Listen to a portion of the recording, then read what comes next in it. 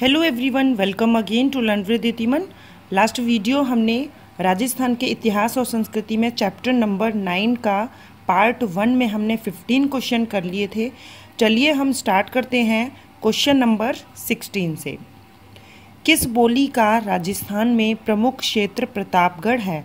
किस बोली का राजस्थान में प्रमुख क्षेत्र प्रतापगढ़ है? तो वह बोली है मालवी बोली। नेक्स्ट देखिए, निगा, निमाड़ी किस बोली की उपबोली है? निमाड़ी किस बोली की उपबोली है?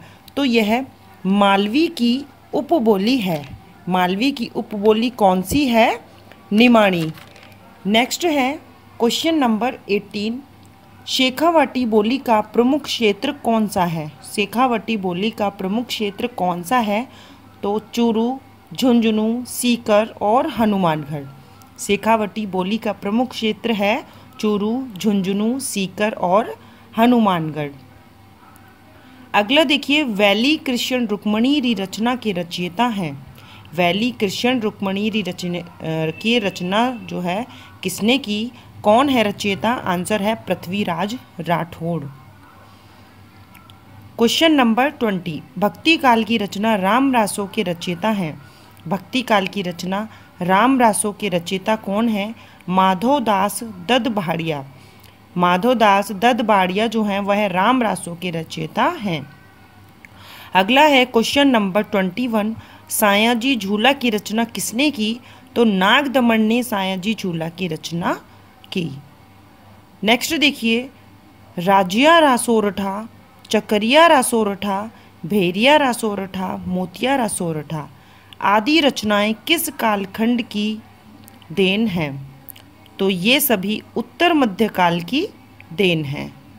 नेक्स्ट है राठौड़ रतन सिंह महेश दासोत्री वचनिका की रचनाकार कौन है? राठौड़ रतन सिंह महेश दासोत्री रचनिक, वचनिका के रचनाकार कौन है?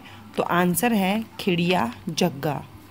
नेक्स्ट देखिए, उर्दू व फारसी शब्दों युक्त गद्य पद्य तुकांत रचना क्या कहलाती है? उर्दू व फारसी शब्दों युक्त गद्य पद्य तुकांत रचना क्या कहलाती है? दवावेद।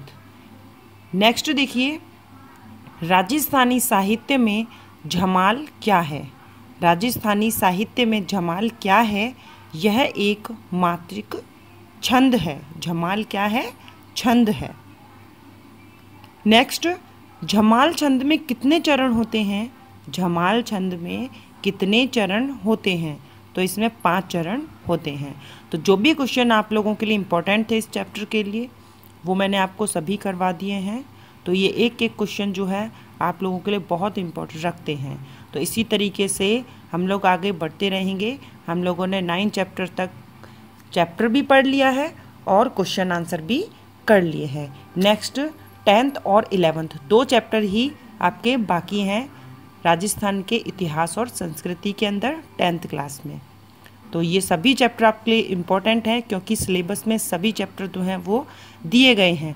तो इसीलिए आप लोग एक भी चैप्टर जो है वो इग्नोर ना करें, सभी पहले इन्हें रीडिंग करें, उसके बाद इनके क्वेश्चन आंसर जो हैं वो सुने, देखें, समझें और उसके बाद इन्हें लर्न करें। मिलते हैं नेक्स्ट वीडियो में। इसी तरीके से। Thank you